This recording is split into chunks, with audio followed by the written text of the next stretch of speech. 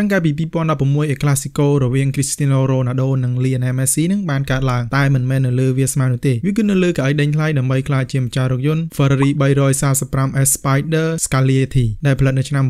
1957ចុងក្រោយរថយន្តនេះធ្លាក់នៅក្នុងដៃ Lionel Messi Lionel Messi ត្រូវជះលុយរហូតដល់36លានដុល្លារដើម្បីនាំយករថយន្តនេះចុះបញ្ជីក្នុងត្រកូល Lionel ឬតម្លៃឲ្យចង់កៀងចិត្តតែបានបងជី David កៀងចិត្តជំនួសស្រណងវិចាដែលលន់ថាភាំងក្តី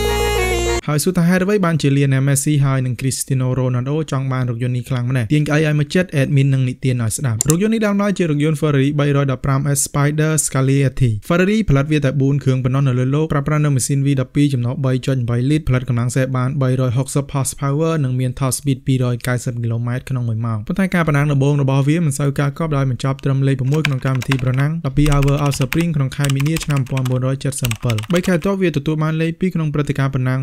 Mille Miglia ដែលមានចម្ងាយផ្លូវប៉ុណ្ណឹងរហូតដល់1600គីឡូម៉ែត្រនៅឯប្រទេសអ៊ីតាលីតាមពីក្រោយរថយន្តលេខ1ដែលជាមិត្តរួមក្រុម Ferrari ដូចគ្នាបន្ទាប់ពីការប៉ុណ្ណឹងចប់ Ferrari បានយកវាទៅចូលរួមជាងសារជាថ្មីហើយមួយគ្រឿងដែលមានលេខសាកស៊ី0674នឹងរៀងពិសេសជាងគេដោយ Ferrari ខែខាយវាបន្ថែមដែលធ្វើឲ្យចំណុះស៊ីឡាំងលោទៅដល់4លីត្រផលិតកម្លាំងសេបាន390 horsepower និងមាន top speed រហូតដល់300គីឡូម៉ែត្រក្នុង1ម៉ោងហើយវាបានកែប្រែឈ្មោះថ្មីទៅជា Ferrari 335S Spider Scaglietti នេះឯងដើម្បីធានាប៉ុណ្ណឹងព្រឹត្តិការណ៍24 Hour of Le Mans ហើយបើចង់ដឹងការប៉ុណ្ណឹងនឹងបែបណាអាចទៅមើលវីដេអូ admin lazy ដែលនិយាយអំពីការប្រណាំងមួយនេះបានបន្តមករថយន្តនេះគឺ Boom ប៉ុន្តែមិនមែនផ្ទុះរថយន្តទេ Boom គឺដោយសារតែរថយន្តនេះបំបីកំណត់តារថយន្តដែលជិះបាន203គីឡូម៉ែត្រក្នុង1ម៉ោងដែលមិនធ្លាប់មានក្នុងព្រឹត្តិការណ៍24 Hour of Le Mans កើតត្រឹមឆ្នាំ1977បើកបោដោយលោក Mike Hampton និង Luigi Musso បើកលឿនមិនប្រកាសតែខ្លាំងកើតត្រឹមម៉ោងទី5នៃការប្រណាំងរថយន្តនេះសុំលើកទងសដោយសារតែបញ្ហាម៉ាស៊ីនបន្តមកនៅឆ្នាំ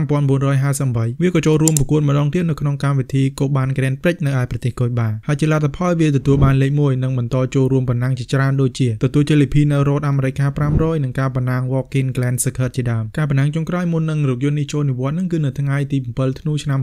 1958ក្នុងព្រឹត្តិការណ៍ប៉ុណ្ណឹង Bahamas Speed Week បន្ទាប់ពីចូលនិវត្តន៍នៅឆ្នាំ1960វាត្រូវបានលក់ឲ្យ Robert Andisek ដែលជាស្ថាបនិកករដែលរស់នៅសហរដ្ឋអាមេរិក10ឆ្នាំក្រោយនៅឆ្នាំ1970វាក៏ធ្លាក់ក្នុងដៃ Pierre Bardinon ដែលជាអ្នកប្រម៉ូទែងរថយន្ត Ferrari ដ៏ល្បីឈ្មោះនៅឯប្រទេសបារាំងរហូតដល់ថ្ងៃទី5កុម្ភៈ2016ម្ចាស់ថ្មីគឺជា Lionel Messi ដែលហ៊ានជះលុយដល់សន្ធឹកសន្ធាប់នាំយករថយន្តនេះចូលភូមិគ្រឹះរបស់ខ្លួន